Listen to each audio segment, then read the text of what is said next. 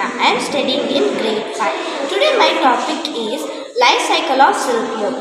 Firstly, the female silk moth lays eggs from which larvae come out. These larvae are known as caterpillars or silkworm. They start growing in size by feeding on mulberry leaves.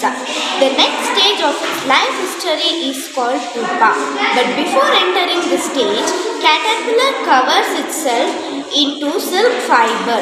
This covering is called cocoon.